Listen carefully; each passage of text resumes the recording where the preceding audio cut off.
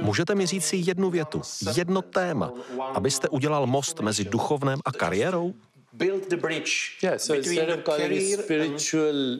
Když to přejmenujeme na vědomé řízení, tak je to celé.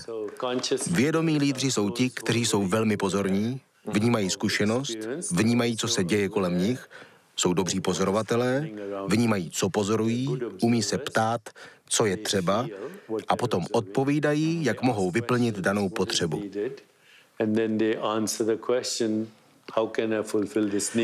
Máme lidské základní potřeby.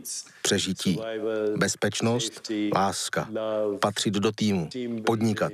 Je tu kreativita, vnímání, vize a plány. Můžete začít z malého já a pokračovat k rodině, přátelům, společnosti, až k celému světu, k nekonečnu a dokonce ještě dál. Takže první princip vědomého řízení je dívat se a poslouchat. Druhý princip je porozumět emocím, protože nikdo nejedná rozumově, nikdo na světě nejedná racionálně. Souhlasím. Moje zkušenost je stejná. Všechno řídí emoce.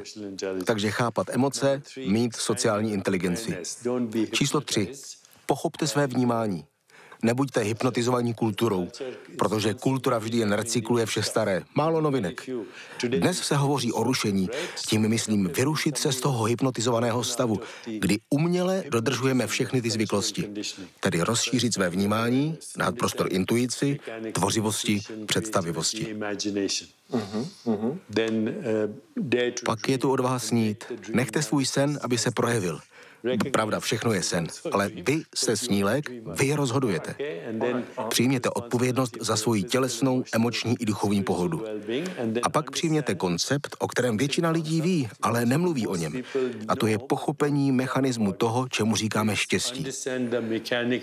Když se někoho zeptáte, jak se to stalo, že jste tak úspěšný, Každý nejdřív řekne všechna možná vysvětlení.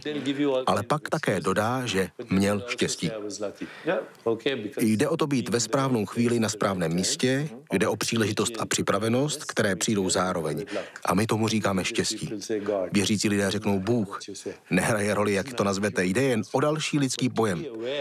Podle mě vnímání vytváří to, čemu říkáme synchronicita. A to je to, o čem hovořím v této knize. Velcí lídři znají synchronicitu. Je jedno, jestli je to Mahatma Gandhi, Nelson Mandela nebo Martin Luther King Jr., Abraham Lincoln. Tito vizionářští lídři vnímají krize jako příležitost. Nehraje roli, jak špatná je to krize, protože oni to vidí. Rozeznají příležitost v krizi. Ani nemusíme používat slovo krize. Je to příležitost.